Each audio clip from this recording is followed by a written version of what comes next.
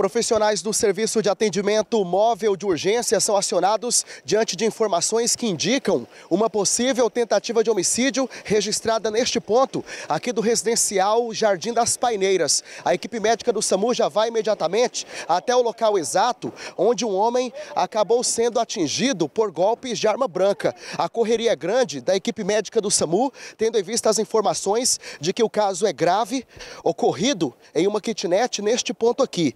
As equipes da Polícia Militar já foram devidamente acionadas e já fazem o isolamento da área até que esta vítima seja atendida. Ao que tudo indica, um desentendimento entre padrasto e enteado acabou sendo registrado e logo em seguida, após uma discussão, já foi aí evoluído para essa questão de tentativa de homicídio. A nossa equipe segue aqui ao local.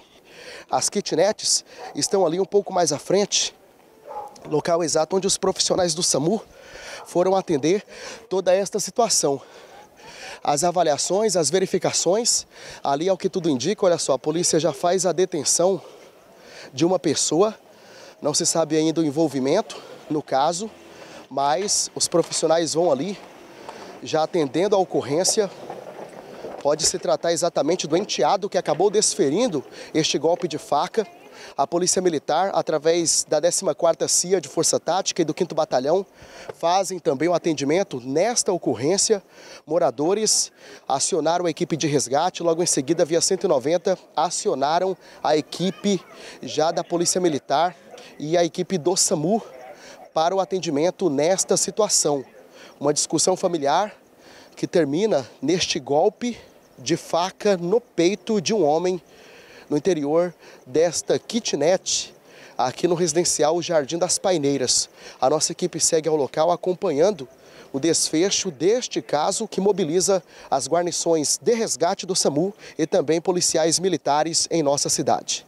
A equipe do Serviço de Atendimento Móvel de Urgência fez o direcionamento da vítima até o box de emergência do Hospital Regional. Todavia, o homem de 34 anos de idade teve sua morte confirmada naquela unidade hospitalar. Ele não resistiu à gravidade dos ferimentos sofridos. A Polícia Militar fez a condução do menor de idade, com 16 anos, até a delegacia de plantão, onde ele foi autuado pelo delegado plantonista diante do flagrante envolvendo este crime no ambiente familiar no bairro Jardim das Paineiras. Os relatos dão conta que eles já estavam tendo problemas né, no âmbito de violência doméstica, inclusive já com registro na região do estado de onde eles vieram, que é o estado do Alagoas.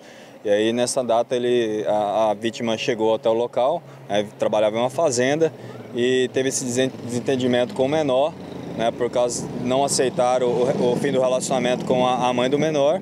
E aí, em dado momento, devido à situação também de embriaguez desse, desse, da vítima, ele acabou desferindo aí um, um, um, um com o canivete né, na altura do, do peito do, da vítima.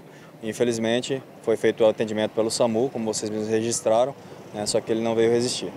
Tenente, o menor ficou ali ao interior da casa, ele aparentemente estava tranquilo após o cometimento do crime?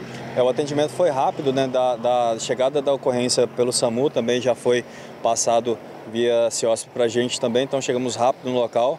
E aí o indivíduo ainda estava no local, já fizemos a detenção, né, um trabalho rápido nosso, e confessou o crime, né, sem nenhum tipo de, de, de, outra motivação, explicou, esclareceu os fatos para nós. Né, e agora essas informações também foram relatadas em boletim de ocorrência, apresentado à autoridade policial civil né, para o andamento do inquérito dentro da delegacia de homicídios.